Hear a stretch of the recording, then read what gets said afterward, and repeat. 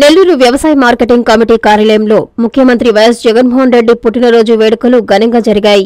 ఈ సందర్భంగా Nellore AMC chairman Pernati Koteshwar Reddy vice chairman Ottur Kishore Yadav secretary Umapathi Reddy market committee director Tatiparthi Venkatesh office సిబ్బంది సమక్షంలో birthday cake cut చేసి సీఎంకి శుభాకాంక్షలు తెలియజేశారు. ఈ సందర్భంగా చైర్మన్ మాట్లాడుతూ సీఎం జగన్మోహన్ రెడ్డి తీసుకునే నిర్ణయాలు చారిత్రాత్మకమని కొనియాడారు. మళ్ళీ రెండు వేల ఇరవై నాలుగులోనే కాకుండా శాశ్వత ముఖ్యమంత్రిగా జగన్మోహన్ రెడ్డి ఉండాలని ఆకాంక్షించారు. ఈ కార్యక్రమంలో ఏఎంసీ కమిటీ సభ్యులు సిబ్బంది తదితరులు పాల్గొన్నారు.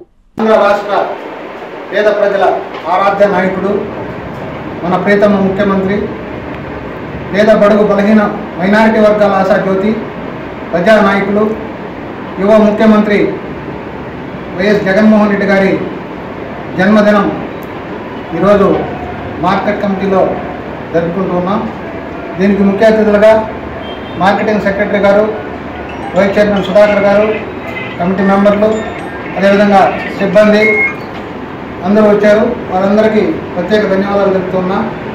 మనందరికీ తెలుసు ఈ రాష్ట్రంలో జగన్మోహన్ రెడ్డి గారు ఒక విజన్తో మాట చెప్తే నెరవేరుస్తాను మాట తప్పను అని చెప్పి అధికారంలోకి వచ్చినప్పటి నుంచి కూడా నేటి వరకు ఎప్పటికీ పేదల పక్షాన రైతుల పక్షాన మహిళల పక్షాన అన్ని రకాల సమస్యలు నెరవేరుస్తున్న సంగతి మనందరికీ తెలుసు.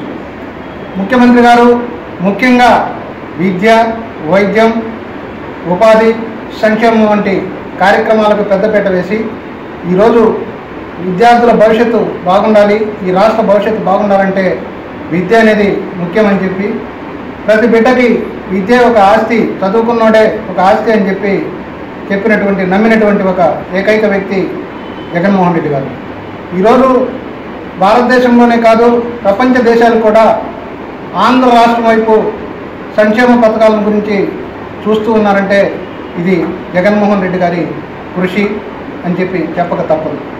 జగన్మోహన్ రెడ్డి గారు ఈరోజు పెన్షన్లు రెండు వేలు ఉన్నటువంటి పెన్షన్లు అంచెలంచెలుగా పెంచుతూ ఈరోజు మూడు వేలకి రేపు జనవరి ఒకటి నుంచి మూడు వేల రూపాయలు చేశారు.